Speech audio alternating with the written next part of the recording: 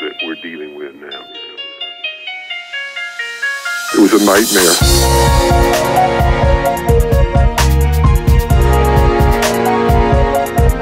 It was a nightmare.